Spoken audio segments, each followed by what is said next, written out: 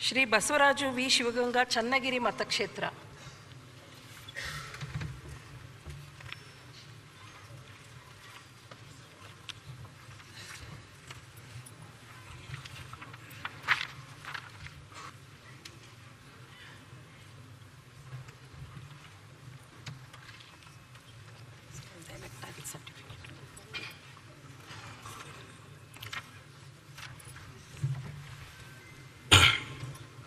Basavaraju V. Shivaganga ಎಂಬ ಹೆಸರಿನವನಾದ ನಾನು ವಿಧಾನಸಭೆಯ ಸದಸ್ಯನಾಗಿ, ನಿರ್ವಾಚನ ಹೊಂದಿದವನಾಗಿ, ವಿಧಿದ್ವಾರ ಸ್ಥಾಪಿತವಾದ ಭಾರತದ ಸಂವಿಧಾನದ ವಿಷಯದಲ್ಲಿ ಶ್ರದ್ಧೆಯಿಂದಲೂ ನಿಷ್ಠೆಯಿಂದಲೂ ಕೂಡಿರುತ್ತೇನೆಂದು ನಾನು ಭಾರತದ ಪರಮಾಧಿಕಾರವನ್ನು ಮತ್ತು ಸಮಗ್ರತೆಯನ್ನು ಸಮರ್ಥಿಸುತ್ತೇನೆಂದು ನಾನು ಈಗ ಕೈಗೊಳ್ಳಲಿರುವ ಕರ್ತವ್ಯವನ್ನು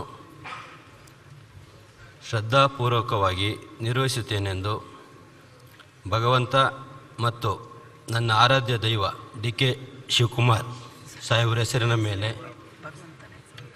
ಪ್ರಮಾಣ ಮಾಡುತ್ತೇನೆ ಸತ್ಯನಿಷ್ಠೆಯಿಂದ ಪ್ರತಿಜ್ಞೆ ಮಾಡುತ್ತೇನೆ